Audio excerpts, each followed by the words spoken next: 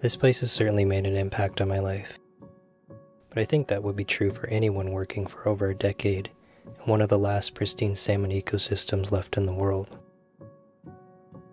In my time here, I learned how the natural complexity of a pristine ecosystem allows salmon to thrive, and how these successful salmon populations sustain habitats, fisheries, and traditions.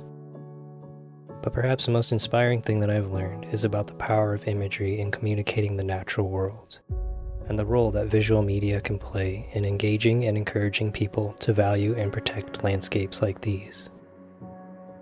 This is Iliamna Lake in Bristol Bay, Alaska, my name is Jason Ching, and my greatest passion in life is connecting to environments and communicating their importance through cameras.